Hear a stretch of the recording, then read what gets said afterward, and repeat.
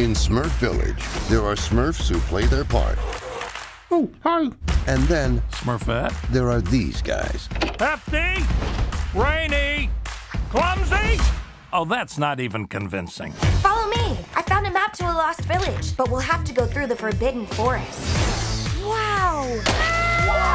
But isn't the Forbidden Forest unsafe and full of dangerous surprises at every bend?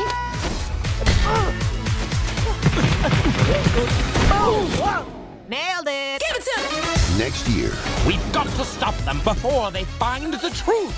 I'll be like, ah, blah, ah. They'll be all like, oh no, I gotta. And I'll be like, Clumsy, how you doing? Ah, okay, I guess. Whatever you do, don't eat all your rations. I just ate all my rations! you think you know the Smurfs, I think my rations are coming up. But you don't know the whole story. What's going on over there?